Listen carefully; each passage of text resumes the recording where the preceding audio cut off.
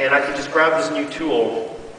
Now, just give me a second here as I set this up. So what I'm doing is I'm creating now, we call them bones, but think of it as a, as a skeleton.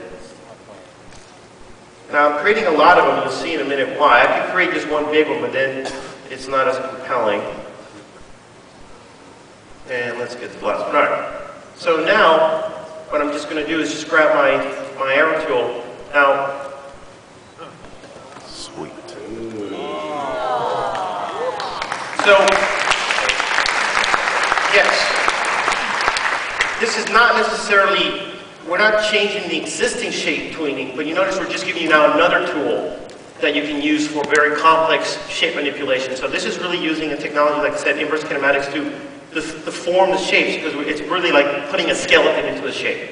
Can you animate that? Hmm? Can you animate Can that? you animate it?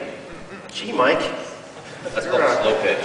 I, I I wonder how this would work at you're runtime. needy. So, once again, following this whole idea of simplicity, um, for animation, um, let's see if we can do, how easy could it be? So let me just straighten it out. I'm just going to grab the span, all right? We just created it. This uh, was automatically created. I'm just going to extend it. Let's move to the middle. And then over here, let's go over here.